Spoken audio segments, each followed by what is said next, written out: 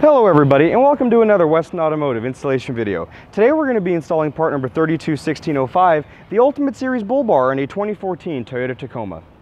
The Ultimate Series Bull Bar feature molded weld end caps for a very finished look, come in two and a half to three inch diameters and also feature a stainless steel skid plate.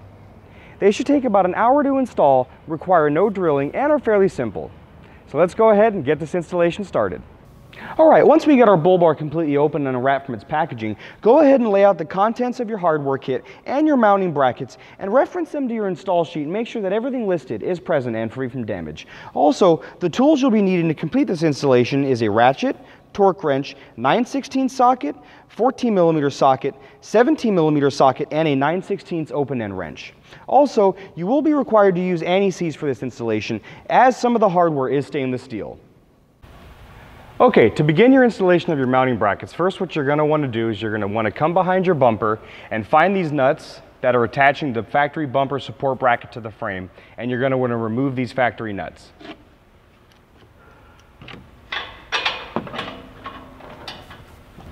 With the factory nuts removed, we can now take our driver's side mounting bracket and attach it to the studs using the factory nuts we removed.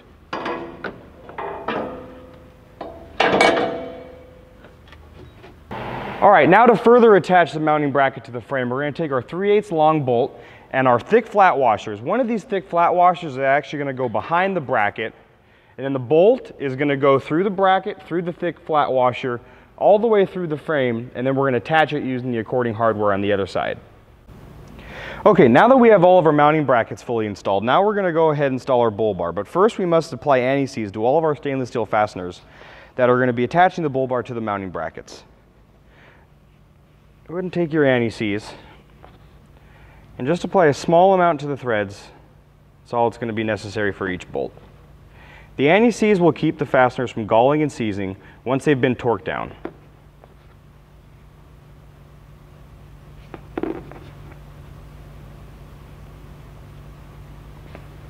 All right, now we're ready to install our bull bar. Okay, now with the systems, we went ahead and got our bull bar loosely attached to our mounting brackets. The bull bar is going to be attached to the outside of the mounting brackets. Now that these are loosely attached, you can go ahead and align and adjust your bull bar as you see fit. And then we're going to go ahead and tighten down all the fasteners using our ratchet. But we're not going to tighten down the fasteners all the way as we're going to be torquing the fasteners after. All right, now that we have our bull bar attached and all the fasteners snug down, we can begin the torquing process. The torquing process is in place to prevent all of the fasteners from coming loose and also prevent us from over tightening the fasteners. We're going to be torquing these stainless steel fasteners here to 17 foot-pounds. Go ahead and put your torque wrench on there like so, using your open end wrench to hold the other end. And torque it down. The yellow zinc fasteners are going to be torqued to 26 foot-pounds, and the factory frame nuts are going to be torqued to 32 foot-pounds. Once the torquing is complete, then we can go ahead and peel off our protective film that's been on the bull bar.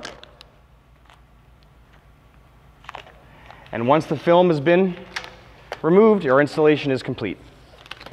All right, everybody, we have our bull bar fully installed, tightened down, and it looks great. Thank you for watching the Westin Automotive installation video for part number 32-1605, our durable black powder coated Ultimate Series bull bar for a 2014 Toyota Tacoma. Westin Automotive also offers part number 32-1600, our brilliant chrome finished Ultimate Series bull bar for the same vehicle as well. Please visit www.westinautomotive.com for any of your other aftermarket accessory needs.